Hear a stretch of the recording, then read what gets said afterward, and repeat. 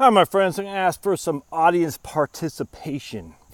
Um, where do you live? I'd like to know. You don't have to tell me the town if you want, but uh, where you live, the state in particular, how much it costs, what people need to be aware of in your neck of the woods. Um, I get a lot of questions about you know where to retire, you know where uh, where do I think about retiring? I think about all the time, man. I've always been I just love maps. Always have found maps of, uh, of interest. I'm kind of weird like that. But not only have I found maps of interest, I like Google Maps where you can go down there, Google Earth. Uh, I just, I, I, I'm fascinated by all that stuff. And, you know, I've talked to many people. A good guy, John, moving to Portugal. A number of people moving to, uh, you know, the Latin America, Thailand, Philippines, whatnot but also people moving from Maryland to Florida, uh, from Virginia to Florida, the villages and whatnot. I think it's all great. And other people moving to Texas, guys moving from California up to uh, was it Oregon or Washington, something like that. Guy moving from Washington to Arizona. Um, I don't think there's as much, was it word, transient, uh, migrating population as you would think. Uh, but anyway, I'd love to hear what your, if you had an audience in front of people and they're saying, you know, let's just say you're from freaking Kentucky, like my man I was talking to yesterday from Kentucky, and uh, and you're gonna stay there. Someone's like, you know, I'm thinking about moving to Kentucky. What would be things? And I don't want any racial crap or anything. I don't care about any of that. I don't want demographic. I don't want any of that. I just I don't. I want more from a financial planning perspective. What are some of the things that you should you would tell I don't know your brother or something like that? Look at that sunset. Isn't that just beautiful? Look at that, dude. Damn, how could you? How do these Antifa people and these liberal, I just don't get how angry people are. I guys listen to Bill Burr right now. He's uh, some video of some Yale students screaming at the professor because the professor didn't know this one girl's name. And Bill's like, dude, you, you live in America and you're at Yale. What, what do you possibly have to be angry about? It's affluenza. My man Michael Ramsden, R A M S D E N, Michael Ramsden. I think he's with RZIM, the Ravi Zacharias uh, International Ministries, which is right here in Georgia, right uh, actually across the street from my wife's office. I'd love to be a fundraiser one of these days when I have enough money uh, for one of these groups because Ravi, his stuff is fantastic. Or like they got Grove City College up there in Pennsylvania, you know, free minds, free markets, Christianity. They're not afraid of that. I love it, man. I think that's fantastic. And unfortunately, I don't think a lot of people know how to do proper uh, the fundraising where you say, like, I'm not, I'm not saying I'd like to do that in lieu of this. Nah, it's just it'd be something I think I'd be good at because you say, look, here's the IRS, here's your charity. You want to keep capitalism, free markets. You want to keep religion front and center. Because uh, all the left, you know, the freaking, what's his name, uh, Pete Steyer, whatever his name is, that dude, Tom Steyer, all the hedge fund managers, they're all rich. They all got money. They're all very few are are Christians, let's put it that way, or Muslims. Let's put that way too. All these rich guys are all atheistic for sure, and uh, and left wing crusaders, George Soros and whatnot, and uh, which is why again going back to my estate tax thing. Well, I'm comfortable. That's what it was. My man Fred said I'm a commie. I should run with Elizabeth Warren because I believe in estate tax. I just chuckled at that. But anyway, I got off that tangent. So Bill Burr's like, dude, you live in America, you go to Yale, look at that. You see that? Just, uh, thank you, Lord, for creating your beauty. We all come from our primordial soup. I always just chuckle. We have 95% of the DNA is what a dog, is that what it is? 92% of the DNA of a dog. And so we also have 75% of the DNA of a banana. So prove to me we came all from a primordial soup that was what the Big Bang? I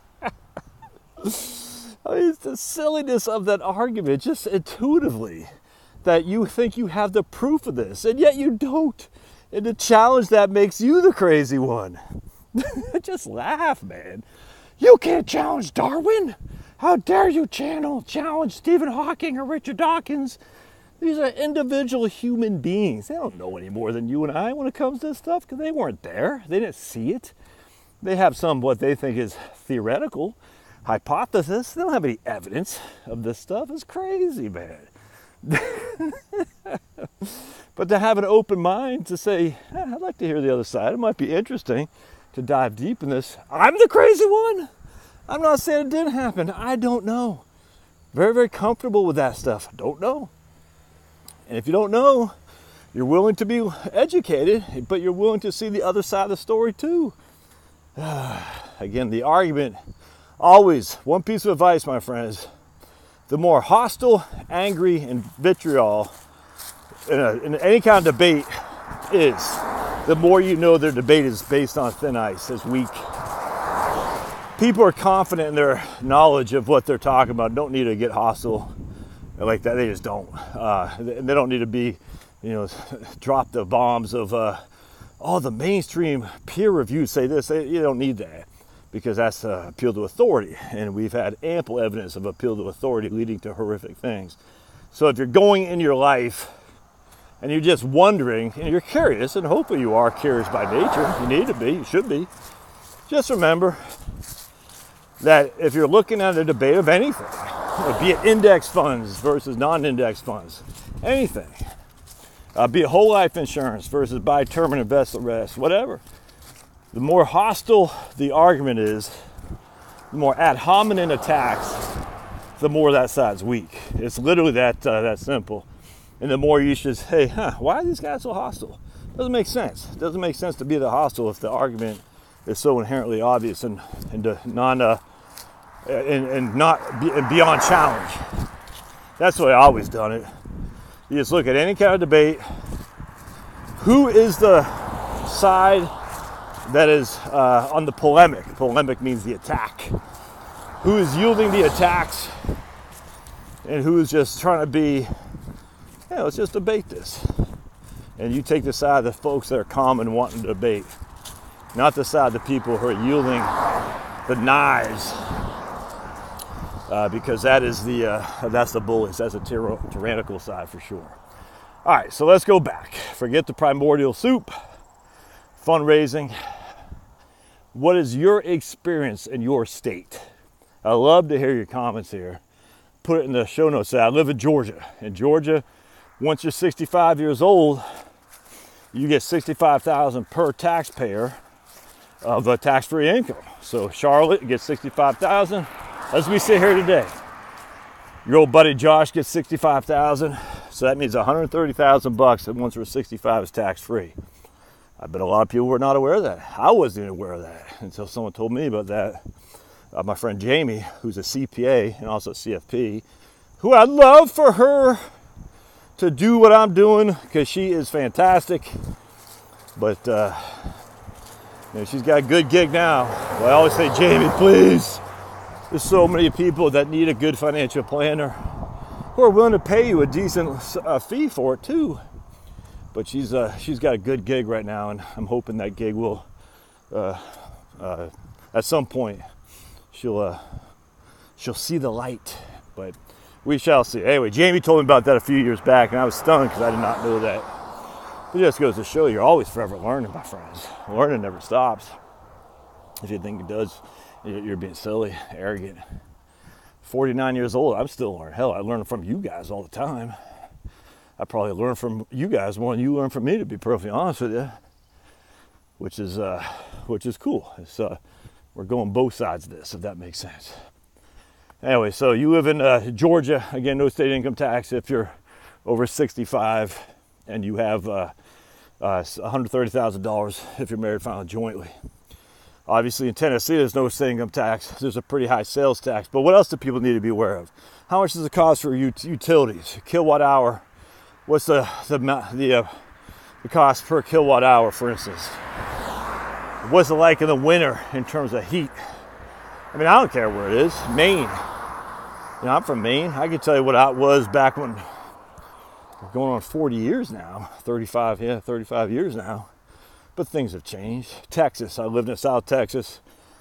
For me, it's just too hot, man, for sure.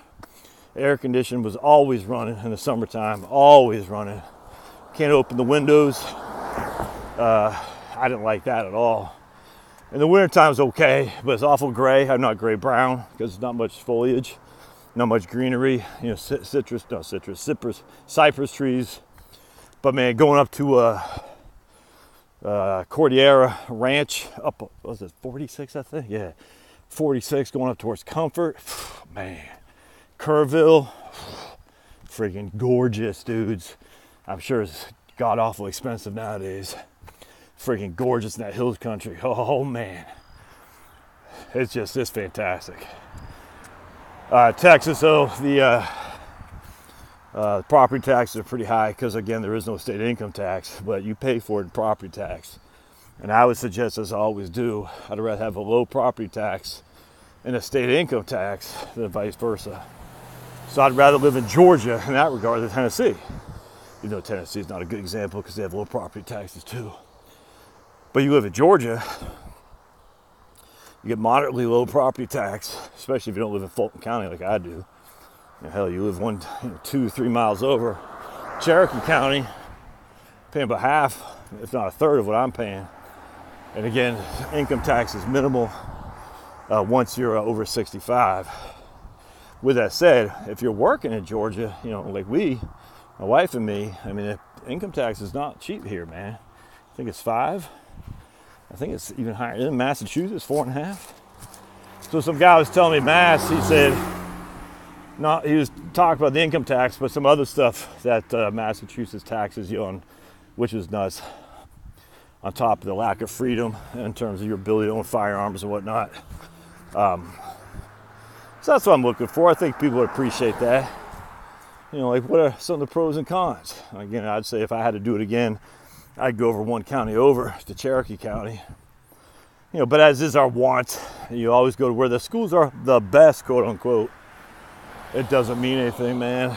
I'm telling you, for you looking to raise children or got kids, you're like, we're gonna move, but we're gonna move to where the schools are the best. I'd highly suggest you think again. It just doesn't mean anything schools are schools, man. Based on test scores, that makes it the best. Nah. Anyway, so put it in the show notes, would you? You live in Oklahoma. You know, what's some thoughts you'd have to want to say about Oklahoma that people should be aware of? You know, whatever. Hawaii, I don't care. And uh, you know, be perfectly honest, we live in Haddonfield, New Jersey. Not very many Republicans in Haddonfield, New Jersey. Um, but it's very, people were not. There's some weirdos there. I will say. I don't want to get too deep in that. There was some. I was like, that's kind of odd. But uh, the people are freaking, we, you know, our neighbors are fantastic. It reminded me a lot of being back in Maine. Actually, my one neighbor, uh, he was a retired Marine. He and I, and the guy next to him was retired CIA. So we are probably the only conservatives in town. It's pretty fun because he was Spanish, and his wife it was just uh, it was just good people. It was uh, it was good Haddonfield. So you know most people liberal there but we just it was we had a great uh, a great sense of community in Haddonfield. I liked it a lot. Other than the fact New Jersey's so doggone expensive and very very unfriendly towards the Second Amendment and uh, and other and just taxes. They just oh, they eat you alive in taxes. But it was it was a nice town, man. You know, I could take the train into Philly, just walk through downtown. We walked through school uh, walked to school. It was it was cool. The beach is an hour and a half away, and New Jersey's got some nice beaches too. It was nice. Um, I just you know couldn't take the property tax and the uh, the lack of uh, firearm ownership. That's for sure. Uh, we live right next to Camden, and a lot of people say, "Oh, there's be a lot of crime." I didn't. We didn't have any issue. I mean, literally, Camden is right next to us, and uh, Camden folks stayed in Camden for the most part. There's always be a couple ragamuffins running around. But uh, for the most part, it was, it no big deal. You know what I'm saying? And uh, the hipster place at Collingswood was building up pretty nice one street over. That was kind of like a, a town that had seen better days, but now started to get gentrified. That was pretty, tons of restaurants, train stop right there. Um, that was pretty cool. Collingswood was a nice place. I, we uh, we go down there for for dinner and stuff. Charlotte and me. Um, I, I, wouldn't raise my kids there necessarily. Uh, schools weren't great, but it was, it was fine. Um, I want to say I want to raise my kids there. I don't know. At the end of the day, I just uh, Haddonfield was, was such a good. Everyone loves Haddonfield. South Jersey, you know, if you go even south in New Jersey, that's what they call the uh, the redneck part of New Jersey. which is pretty cool. I mean, definitely a more conservative group of people. They got the nuclear power plant down there. Um, cheap cost of living relative to uh, the Philadelphia area of South Jersey. And this is way down. I guess it's Burlington County or something like that. And uh, that was uh, we would have uh, bought there if we didn't find our house in Haddonfield. It was fine. You can't take a train. I guess well, you can't really take a train into Philly. You have to drive to the the stop and take it, but it was fine. Absolutely you know, definitely in the rural area, country.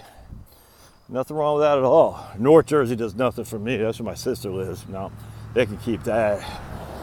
Nothing for me up there. Even though if you go out to like Sparta, stuff like that, that's freaking gorgeous, man. I mean, it's, it's just it's so expensive, and uh, and the traffic is immense. But I mean, you go out to Sparta, you know, through that like the Tappan Zee Bridge area, going into New York. It's I mean, it's gorgeous. There's no other way around it. It's just it's uh, it's insanely expensive out there. I, I don't know how retirees afford that for sure. Uh, my friend Mary lives in Connecticut, and uh, you know Connecticut's got a lot going for it, just beauty of nature. I don't know anything about Connecticut other than it ain't cheap. I know that for a fact. But you know, can a normal family get by at some of these places? I think Connecticut's a nice state, nutmeg state. You know, obviously it's liberal for the most part, but I mean, man, you go out to like I don't know, like the western, northwest part of Connecticut. Freaking beautiful, man. Beautiful. I don't know that much about Connecticut. Just going through 84. Was 84? When I go up to Maine, uh, it's 84 to 81, I think. So I take the GW Bridge to go through New York, or sometimes I take Tappan Zee, whatever it felt like. And then you take, you go through Hartford, I think. You take 84. I can't remember. But anyway, you take 84, 81. That wasn't 81, I don't think. 78. Anyway, you take some highway through Hartford and you go through uh, some of these towns are just freaking gorgeous. You know, that's Connecticut. Um, but it's crazy expensive there, is my understanding. I don't know. Maybe Mary can chime in. Maybe it's not. Uh, we got to know we got some folks live in Maine. We got some folks live in Mass. We got some folks who live in uh, New Hampshire. Lots of folks live in Texas. Uh, what else I got? Most California uh, for sure. And I know people say, I'm getting out of here, but you know, it's got to be more than just you're getting out. Why? I mean, I'd like to know, you know, if they violate your freedoms. They, uh, I get that. they can't keep, uh, you can't live on a just a regular, uh, you know, uh, sixty thousand a year income. Can you make it by there in Connecticut? California, I don't know. Bend, Oregon. Like I said, I've always been interested in Bend, Oregon, for some reason. I don't know why just Bend, Oregon, for some reason, always jumped out at me. And I think they used to have my. I, I love minor league baseball. I've always followed it. I always liked uh, back in the day all the minor league teams, the Toledo Mud Hens and stuff like that. But you know they had the Pacific Coast League back in the day. I, I think they still do. They used to have the American Association, Pacific Coast League, and the International League for AAA baseball. I think the American Association disbanded and kind of they went into both those two remaining leagues. But I just used to remember like Stockton, Bend, Oregon. I don't know why, but Bend, Oregon has always kind of appealed to me, kind of like Colorado Springs. Then I went to Colorado Springs and I was disappointed. I was like, yes, all right. Um, I always want to go to Calgary though, I tell you, man. I don't know what it is about Calgary. Colorado Springs and Calgary. So I rode off Colorado Springs. I've been there and it didn't do much for me. But Calgary is kind of like the uh, the northern version of Colorado Springs for me. I think still got some green, still dry, high desert, right? Mountains and stuff. They got that place Banff or whatever it's called. Never been there, but I always like the Calgary Stampede is like a rodeo town, except in Canada.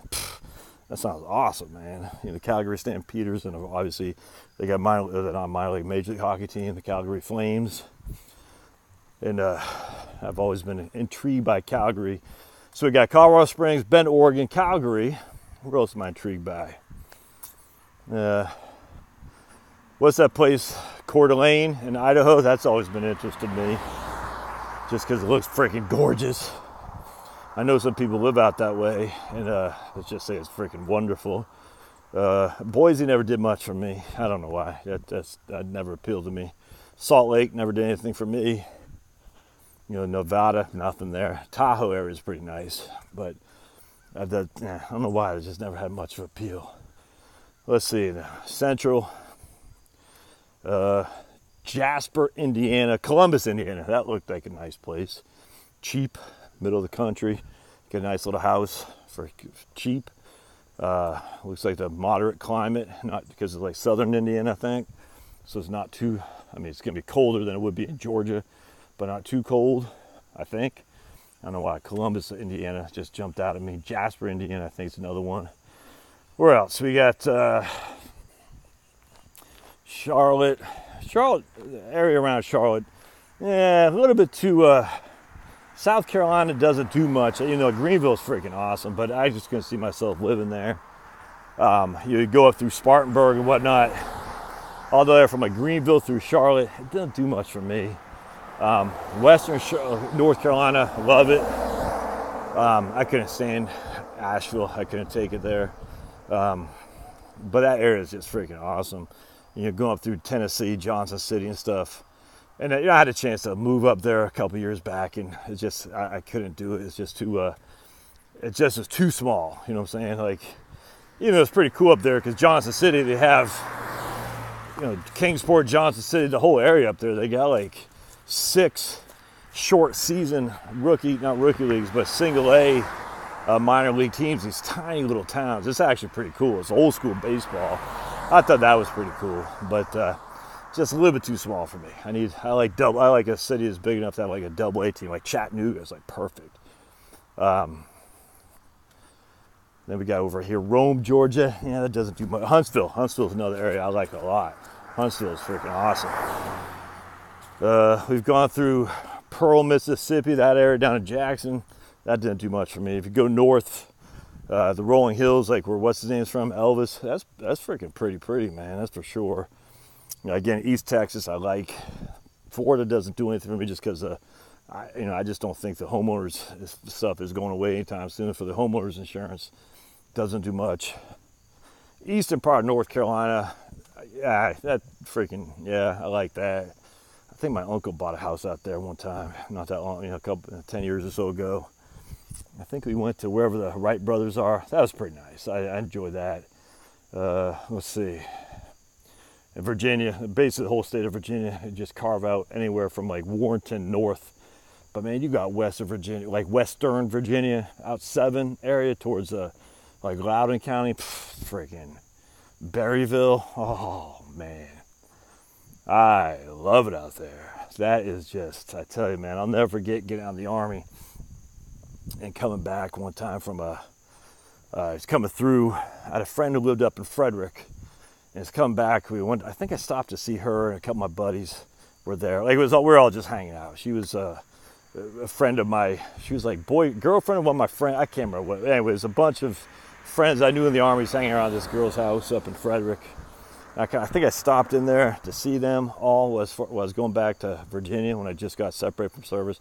I don't remember if I'm getting my dates mixed up, but I just remember come back from Frederick, and instead of taking the uh, the 270 going through DC, I took a different route to go through uh, that Leesburg, uh, you know, Point of Rocks, Maryland, western part of Virginia, Berryville. Pff, man, you get through that, you're just like, oh, friggin' gorgeous, man, gorgeous. Maryland, I like. You know, Western Maryland, Cumberland, and all that stuff is freaking gorgeous. A little bit too small for me, you know. And then you go through uh, you know, down by Antietam and stuff like this. Antietam, Gettysburg, Gettysburg, Antietam's Virginia.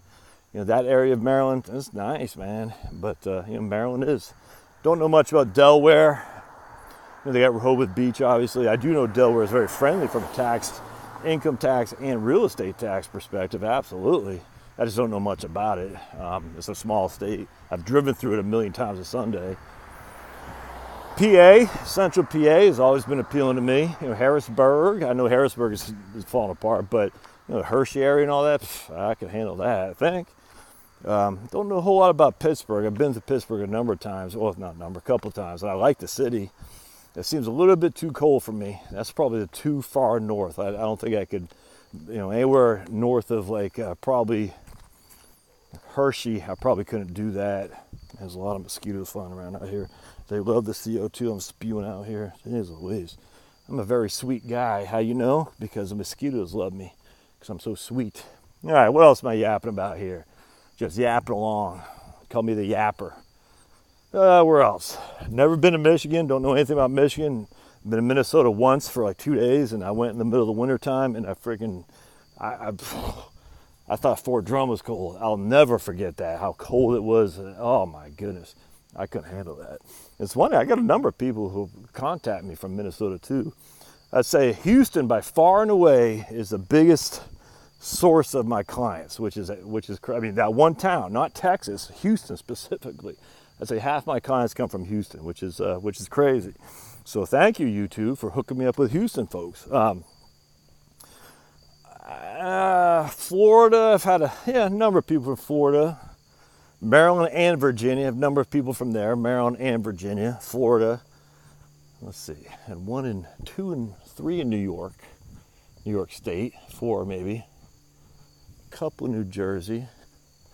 I haven't had anyone from Massachusetts no one from Maine, no one from New Hampshire. So that northern New England, nah. One from Connecticut, bunch from California, and a bunch from Washington State, if you can believe that. Uh, I think I've had two from Washington, D.C., uh, Georgia, and uh, a couple from Arizona, Oklahoma and I'm getting eaten alive here, man. They're just coming out of the woodwork all of a sudden. It's weird. I thought the cool would cool these guys off and kill them off, but not quite. So if you see a freaking skeeter on me, tell me so I can kill that sucker because he's want my blood. Um, anyway, man, Minnesota. This is crazy because I mean, you know, Minnesota's not a huge state, and uh, but I've I've had probably Minnesota's definitely probably my top six in Washington State, California, Texas, Maryland, Virginia, Florida, Georgia, and probably Minnesota. Isn't that crazy? Uh, one, a couple from Illinois, now I think about it. A couple from Oklahoma. One, two from Kansas. Uh, Oregon. I don't think I've had anyone from Oregon. Washington. Yeah, well, I already said Washington State. Uh, trying to think what else. New Mexico. Yeah, one from New Mexico. Yeah. Uh, Mississippi. No. I've had a couple from Alabama. Uh, what am I missing here? Pennsylvania. I haven't had that many from PA actually. A couple. I've had a couple from Michigan. If I had anyone from Hawaii, had one guy from Hawaii just did a consult with, maybe two actually, I think about it. No one from Alaska. Yeah, it's interesting where I've had my clients from, but I mean, literally, Houston, Texas has been, like I said, more than any other state, which is crazy. Dude, I am freaking mosquitoes, mosquito bugs, killing me, dude. At least I think. Maybe I'm just being paranoid now. I, I told you the story. If you're still watching this, more power to you. Just me yapping my uh, stream of consciousness. Anyway, when I was a kid in Maine, you always talk about being a kid in Maine, cause that's me. That's my life, dude. That's what I do. I'm from Maine. Anyway, when I was a kid in Maine, uh, when we lived in this house, it didn't have insulation, and I, my understanding was you had to go to the bathroom outside in the outhouse or something. I can't. Remember. I, was literally young. I was probably three or four years old. I'll never forget one night. It's getting eaten alive by mosquito bugs I ran into my dad and mom's house. I was like, all these people, the, the, things are making noises and biting me. Ah. And I was like probably three or four. One of my earliest memories. They said, just go back and get under the covers. So I got under the covers and I could still hear those freaking things. Just, you know, what mosquito bugs, the noise they make. I was like, dude, I literally want to kill myself. It was the worst thing ever. I just, I can't remember like if I, I don't remember what happened next day or anything. I just remember my parents saying, just go and get under the covers. I said, yeah, they're still there. Oh, yeah, yeah. Man, we used to get these, you know, those like fly trap things, those uh, plastic fly trap things. Oh, we used to get those fly trap things. There'd be like freaking thousand flies on them things. Oh my God, it's disgusting. And I see when you're when you're a kid, you don't know. You don't know like what what's normal, what's not. I just remember seeing these fights, there'd be like thousands. Oh, it's freaking nat. You know, they hang from the ceiling and they kind of stretch out a little bit, like this, uh, almost like a spring almost. Oh, man. it's freaking disgusting. But I mean, as a kid, you're like, oh, it's just you know, flies flying around and getting trapped. All right, I guess that's all I got. So, what else do I want to say? Not much. Not much. I just talked for 30 minutes. That's your old buddy Josh, just yapping. Appreciate y'all being here, my friends. I hope you're doing well in your financial planning. It's freaking absurd that I could be of assistance to you in that regard. I find it incredible. I mean, just this guy. And it's not because I'm so smart. I think it's just because I'm curious. And, and curiosity leads you to investigate things that non-curious people do don't. You see what I'm saying? And the curious will make you be quote unquote smarter because you're taking the time to say, huh, I wonder what if. How about that? What if this? It's not because of stupid IQ. You know, forget the stupid IQ. It's just because you're wondering. You're, you're a curious person. And curious makes you say, what if there's a different perspective here? I'm not going to listen to the tried and true. I want to challenge it. Challenge the mainstream thought. And when you do that, you quickly find you have a lot more knowledge on something that most people do because most people don't take the time to do that. So it's not because I'm a financial planner extraordinaire or I'm so smart guy. It's just I'm curious and I read. So whatever you're interested in, take some time to read it, to look at the other side of the, the, the thought process, and I guarantee you, you'll be more attuned in that subject than the vast majority of people. Not because you're so smart, but just because you took the time. I think I'll let you go. We'll see you.